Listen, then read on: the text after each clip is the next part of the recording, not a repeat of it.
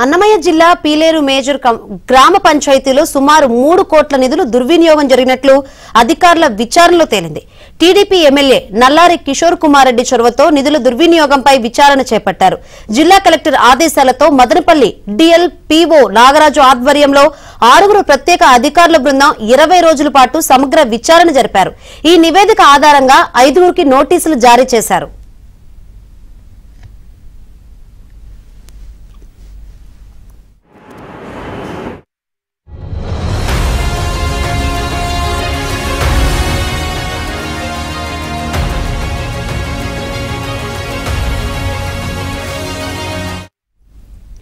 నిబంధనలు గాలికి వదిలి ఇష్టానుసారం నిధులు దుర్వినియోగానికి పాల్పడినట్లు విచారణలో తేలింది. జరిగిన పనులను ఎం బుక్లో రికార్డు చేయకుండా నిధులు మంజూరు చేశారు. పైగా జరిగిన పనుల్లో ఎక్కడా నాణ్యత ప్రమాణాలు పాటించలేదని తేలింది. అలాగే డీజిల్ పెట్రోల్ వినియోగంలో సైతం అక్రమాలు జరిగినట్లు గుర్తించారు.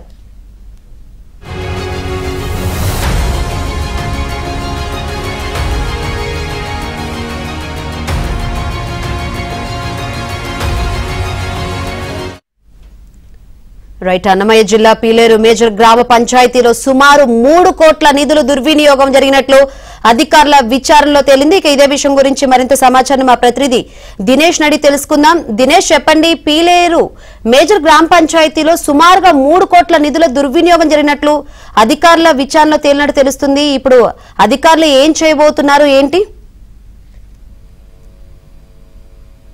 అన్నట్టుగా వైసీపీ ప్రభుత్వంలో పైనుంచి కింద వరకు దోచుకొని తినేటువంటి కార్యక్రమం యథేచ్ఛగా సాగిపోయిందనేందుకు ఆ, పీలేరు మేజర్ పంచాయతీలో జరుగుతున్న విచారణలో అనేక అక్రమాలు వెలుగు చూస్తోంది.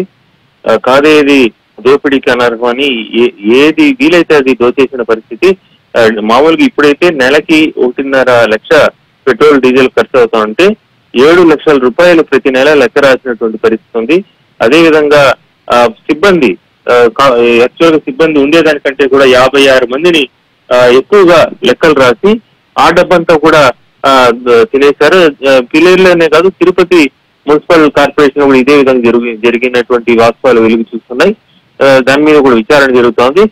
ఆ, పీలేరులో అయితే విచారణ పూర్తి షోకాజ్ నోటీస్ ఇవ్వడం జరిగింది. ఆ, అదేవిధంగా ఈ యొక్క బ్లీచింగ్ పౌడర్ కూడా దోచేసిన పరిస్థితి ఉంది. తప్పుడు లెక్కలు రాసినట్టున్నారు. అన్నిటికంటే ముఖ్యంగా అప్రూవల్స్ బిల్డింగ్ అప్రూవల్స్కి యాక్చువల్గా డీడీలు తీసి చెక్ ఇచ్చి uh, అప్రూవల్స్ తీసుకునే పరిస్థితి ఉండాలి. అయితే దానికి కూడా డబ్బులు తీసేసుకున్నట్టు ఉండేటువంటి పరిస్థితి కనిపిస్తా ఉంది. అంటే మొత్తంగా అధికారులు గతంలో ఎన్నడూ లేని విధంగా ఆ, పరిపాలన సాగింది. అంటే ముఖ్యంగా ఆ, పూర్తిగా అదుపు లేదు. కలెక్టర్ స్థాయి నుంచి ఆర్డీఓ స్థాయి నుంచి ఎవరు కూడా పరిపాలన పైన అదుపు లేదు గతంలో అనేందుకు ఇది నిదర్శనంగా ఉంది. ఇప్పుడు ఉండేటువంటి కలెక్టర్ దీనిపైన షోకాజ్ నోటీస్ ఇచ్చారు. అప్పుడున్న ఇద్దరు ఈఓలు కావచ్చు ముగ్గురు ముగ్గురు ఈఓలు కావచ్చు ఇద్దరు సర్పంచులకు కూడా షోకాజ్ నోటీస్ ఇచ్చారు. ఇది మొత్తంగా మిగిలిన అన్ని గ్రామ పంచాయతీల పైన కూడా విచారణకు దోహదపడుతున్నటువంటి విధంగా పరిస్థితులు కనిపిస్తున్నాయి.